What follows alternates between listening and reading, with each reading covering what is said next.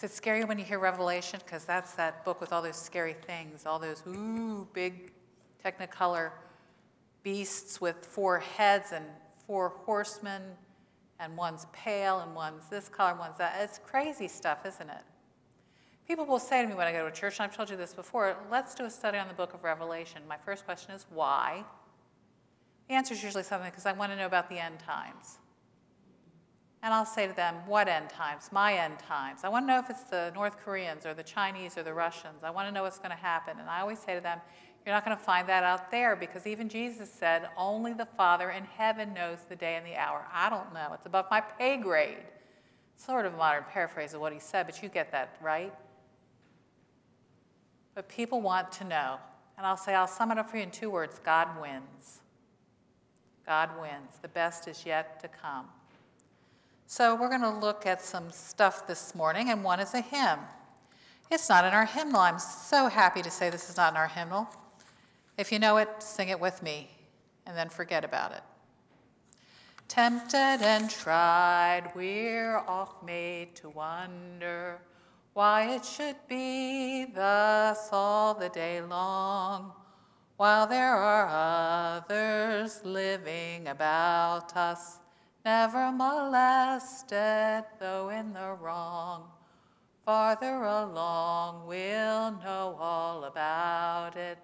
Farther along, we'll understand why. Cheer up, my brother, live in the sunshine. We'll understand it all by and by. Next verse is even worse. When death has come and taken our loved ones, it leaves our home so lonely and drear. Then do we wonder why others prosper, living so wicked year after year? We'll understand the sweet by and by why Jesus lets them get away with it and we're here suffering. That is bad theology, boys and girls. Take that hymn, rip it out of your hymnal, rip it out of your heart, because it is not a good one. Because what it's really saying is one day you're going to get yours. Now, theologian N.T. Wright, I got to meet him once, which was lovely. He is a British, um, he's, a, he's a bishop in the Church of England. He's a theologian, he's a prolific writer, he's a seminary professor, and he's funny as all get out. I think I've told you this before too, that he was entering the country. This is before COVID hit. I saw him 10 years ago, so this is about 10 or 12 years ago. He entered the country. He got to the US Customs and they said, So you're a bishop, huh? He said, Yes, I am. And he said, Well, if you're a bishop, you should be able to recite John 3.16. I bet you can't do that, can you? And he said, oh, I can. He said, let me hear it. This is someone, when someone's entering our country whose name is bishop or reverend or reverend bishop or whatever, the right reverend bishop, because he's British and that's got all sorts of titles there, you'd think they'd welcome him, especially someone who's a Christian. But he said, prove it to me. Recite it for me. And he said, I couldn't help myself. He said, I recited it to him in Greek. This is a very bright man and very funny. But he wrote a book on the resurrection This is a great book. And the resurrection and its implication for the church today in the world. And one of the things he said that too many Christians think that heaven is a beautiful place, which I agree with. Because what it would say in the book of Revelation, we're not going to go float up and live on a cloud somewhere with little wings, like in the white cloud toilet paper commercials. But heaven's going to come to earth. That Jesus Christ is going to bring the kingdom. What did it say? We won't need a light because God Himself is the light. When heaven comes to earth, it's a beautiful garden and we all have everything we need. We're all happy, but in the middle of that garden, he says a lot, too many, too many Christians, and I agree with that, too many Christians believe in the middle of the garden there's a coliseum where you get to go and watch the people who done you wrong roast over an open fire for all eternity. That's the entertainment for some folks in heaven. Farther along, we'll understand all about it. We'll know it then. I disagree with that kind of theology. I've told you before that my theology begins in the future. My theology begins with the second coming of Christ because when Christ comes again, I believe he's coming again. And he's going to bring heaven to earth and everything is going to be made right. What is upside down is going to be turned right side up. God will reign forever and ever. It's what we read in the book of Revelation. Like I said, God wins. So, what does that mean for us now? Do we sit back and say, farther along, we'll understand why we had to put up with you people the rest of our lives so we can watch you burn? That's a good thing. Or we can say, no. That if Christ is going to reign, he's got to reign in my heart right now. He's got to reign in my life right now. He's got to change the way things happen in my life right now. Anybody here do the disciple Bible study in the past, those 34 week classes? I taught, I was one of the first disciple teachers. I had to go away and be trained how to teach disciple. And I remember my class sitting there, and it was a class of people with pretty high education levels. There were people with PhDs, everything else. When we got to this part of Revelation, they were having a hard time with the concepts there. I said, I have a book in my office that's going to clear this right up. Written by one of my favorite theologians. His name is Jurgen Moltmann. Anybody other than Mark Smiley ever heard of Jurgen Moltmann? He was the author of a book called The Theology of Hope, and he is where I really learned what is called realized eschatology, meaning it's the end times that inform this time that we live in now. This is what he wrote. Listen, because I read this and the people went, What are you talking about? That cleared it up. That is why faith, wherever it develops into hope, causes not rest but unrest, not patience but impatience.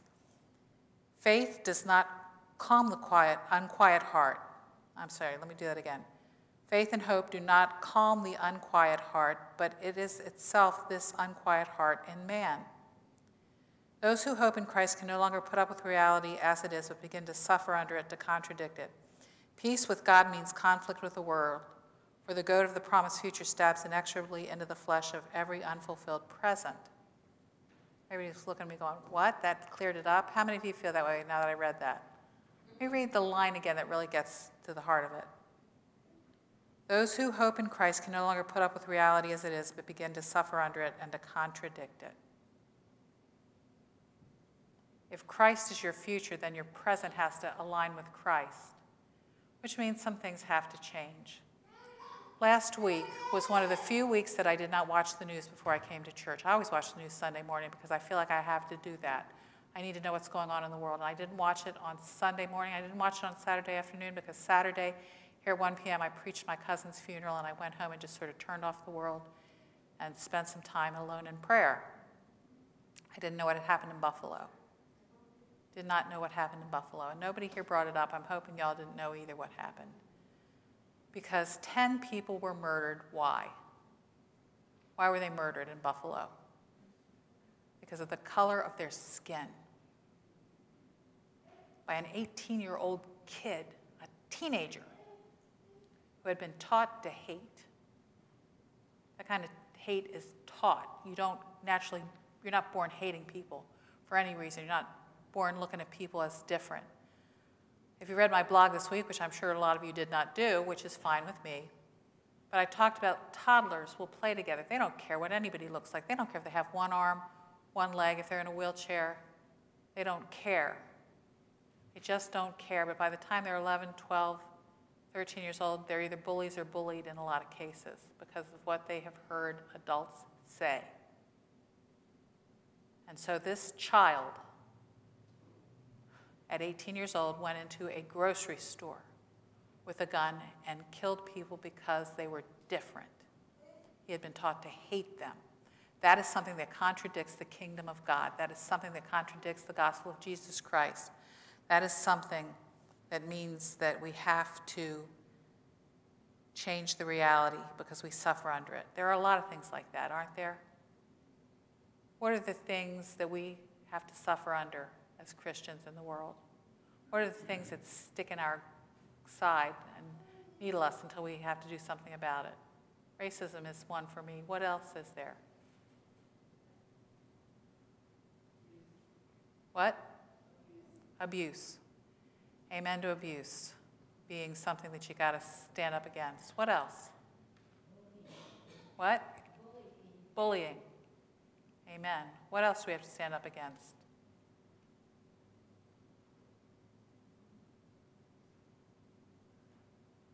Part of me wanted to try to start a movement around the world that the people of God and Jesus Christ would stand and face Russia and put our hands up and say, Vladimir Putin, in the name of Christ our Lord, stop what you're doing.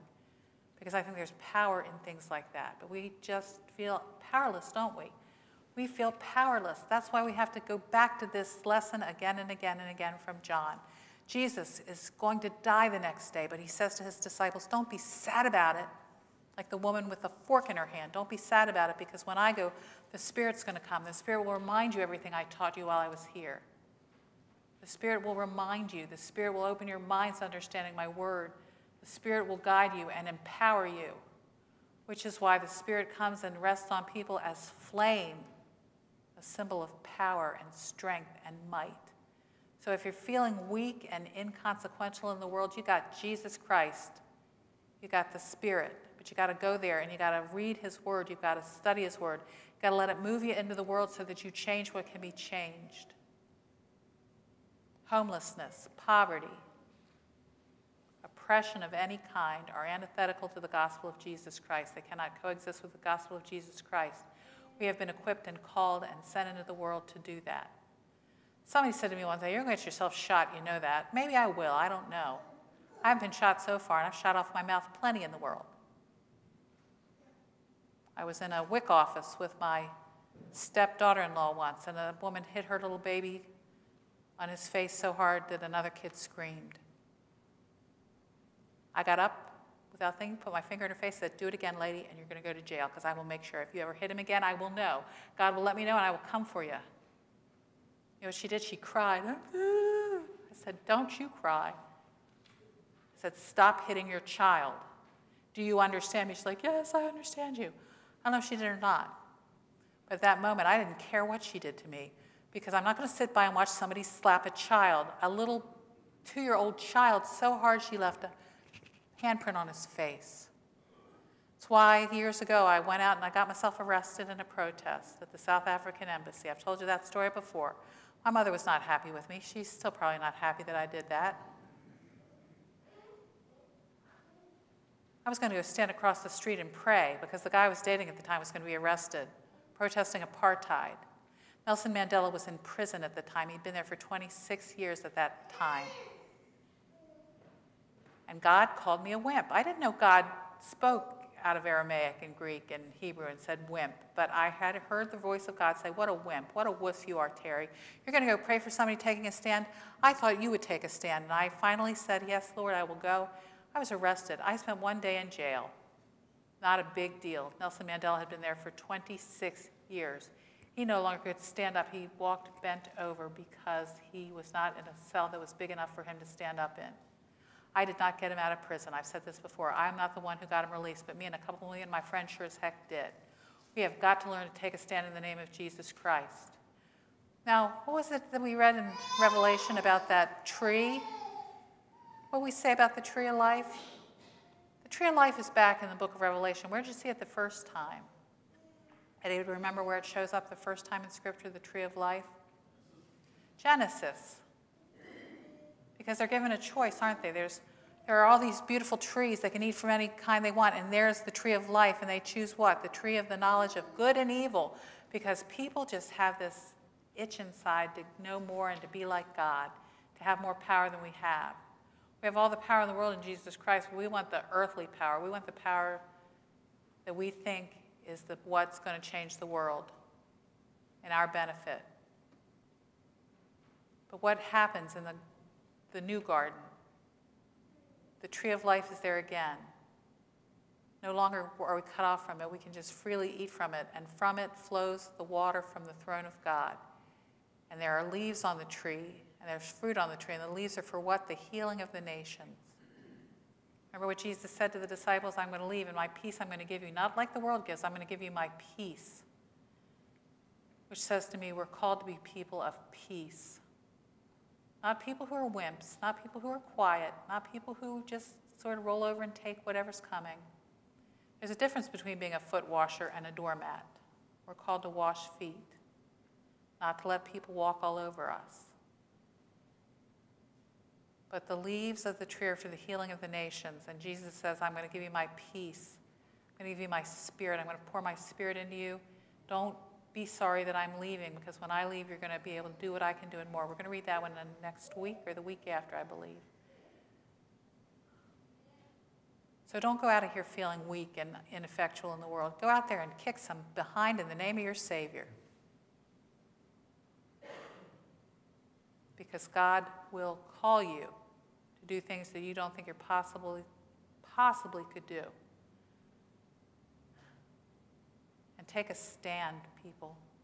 Stand up against racism. It's something we can all speak out against. breaks my heart to think that there are school systems that aren't going to teach slavery anymore because it makes white people feel bad. Tough.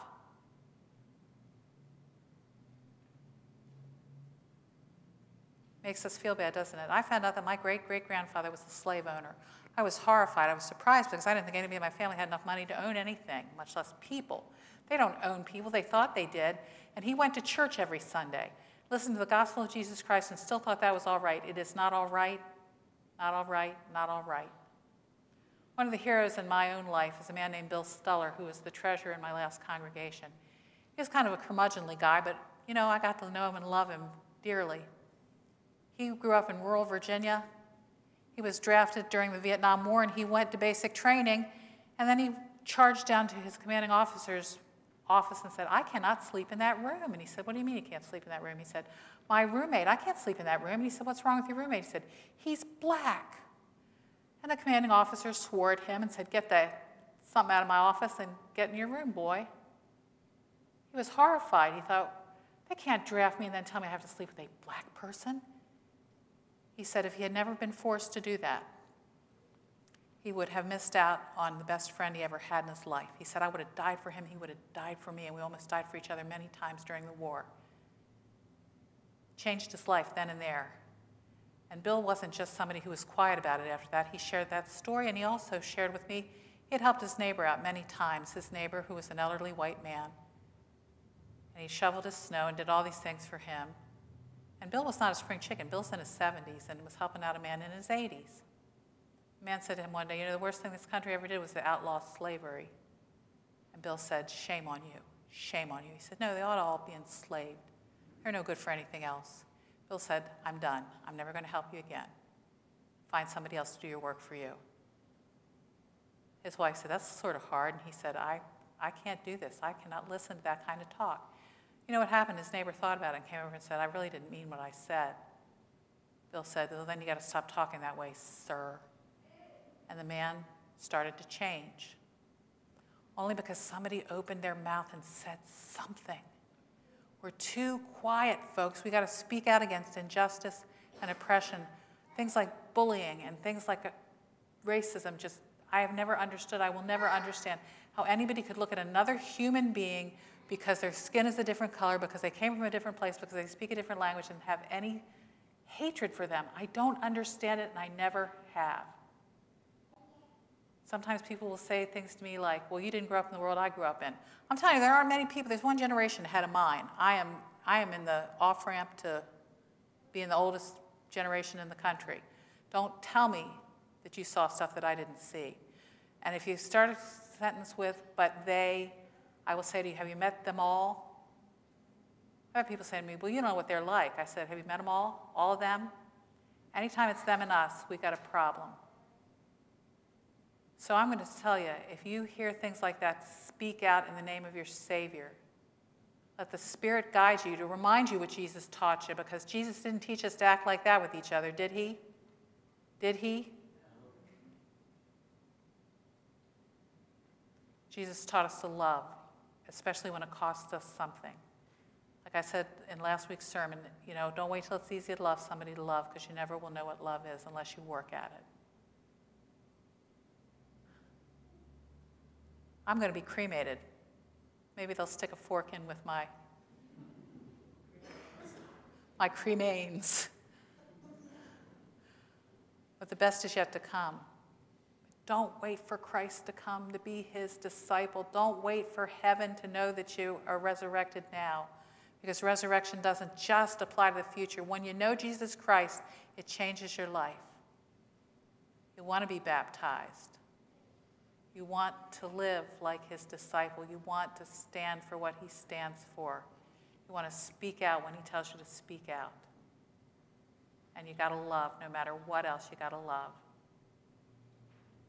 How many of you want to be buried with a fork in your hand? How many of you believe the best is yet to come? Live like it now. Amen. Let's sing about